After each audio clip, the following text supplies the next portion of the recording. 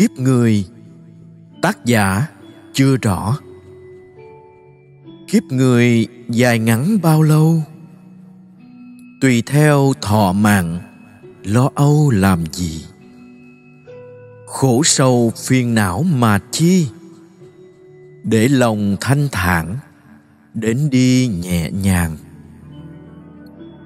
Dù cho xinh đẹp giàu sang, hay là xấu xí nghèo nàn khổ đau. Tuy rằng hoàn cảnh khác nhau, nhưng tâm đừng chấp, nghèo giàu mới hay. Giàu sang dễ bị mê say, nghèo nàn đạm bạc qua ngày cũng xong.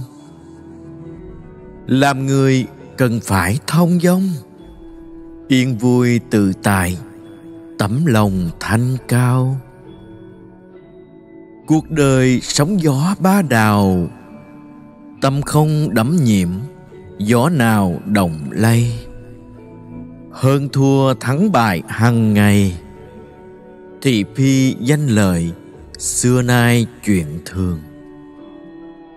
Thế nhân cần có tình thương, đừng nên để ý lấn đường người qua tầm nhìn mở rộng cao xa.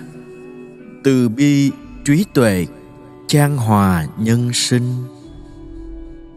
Sống cho trọn nghĩa, trọn tình. Đừng gây oan trái, bất bình với ai. Mình còn có lúc cũng sai. Nghiệp dày phước mộng, đức tài chưa sâu cuộc đời nào có bền lâu, vô thường không hẹn biết đâu mà lường. Thăng trầm vinh nhục phong sương, giữ lòng bình thản, đừng vương khổ sầu. Ta người có khác gì đâu, cảm thông tất cả nguyện cầu an nhiên cần nên tránh ác làm hiền. Để tâm trong sạch, không phiền, không tham. Sân si nhất định không làm. Đơn sơ biết đủ, không ham muốn nhiều. Tiên tinh vật chất những điều. Nếu tham thì biết bao nhiêu cho vừa đừng nên lưu luyến say sưa. Xa ly đừng chấp, đừng ưa so bì. Đắm mê dục lạc mà chi. Ta còn không có có gì của ta. Đủ duyên hòa hợp sinh ra. Hết duyên tan rã, vì là ta đâu?